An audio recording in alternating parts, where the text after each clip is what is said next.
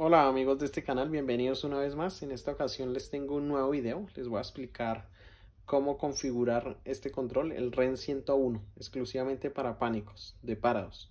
Se los voy a explicar con la consola, con la MG6250, con la consola inalámbrica. Sin más preámbulo, pues voy a mostrarles cómo, cómo lo configuramos. Eh, tenemos por acá el control. Eh, forma rápida asignarlo primero que todo a un usuario. Entonces, menú, nos vamos, podemos darle seguir, seguir, seguir hasta llegar al setup o digitar directo 08. ¿sí? Luego el código del, del usuario master. Entonces, en este caso lo tengo de fábrica 1234. Entramos aquí donde dice usuarios con OK. maestro. Seleccionamos un usuario, por ejemplo el 2 eh, si queremos le ponemos una clave. Sí, voy a dejarle esta. Eh, le puedo poner etiqueta de voz si quiero texto también. Y aquí va el tema. Le voy a programar un control remoto. Ok. Vamos a asignarlo. Entonces vamos a estar pendientes de este led listo. Eh, me pide que lo pulse nuevamente. Entonces una vez se apague lo pulsamos otra vez Listo. ¿A qué área pertenece? ¿A qué partición? Entonces a la 1. Listo. Seguir. ¿Otro usuario? No. Listo. Esta es la primera parte. Listo.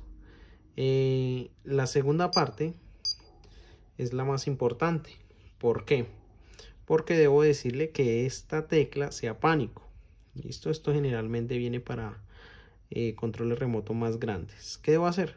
Entonces, ingresar a programación avanzada tecla 0 sostenida, código instalador, lo tengo por defecto, eh, sección 04, eh, puede entrar a un usuario, por ejemplo 04 40 para todos los usuarios, 0441 para el primero, 0442 para el segundo.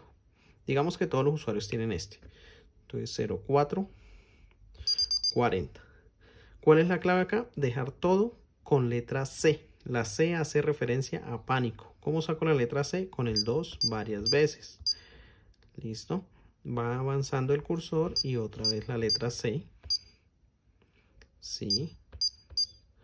Y así debo llenar todos los campos con la letra C.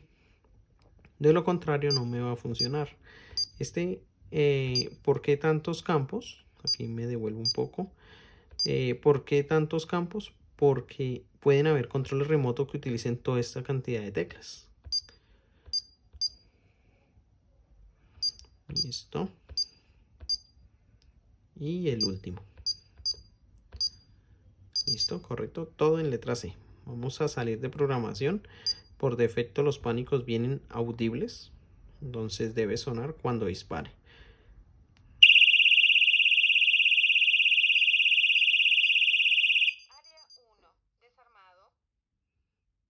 He disparado desde el control o he accionado el pánico desde el control, ¿vale?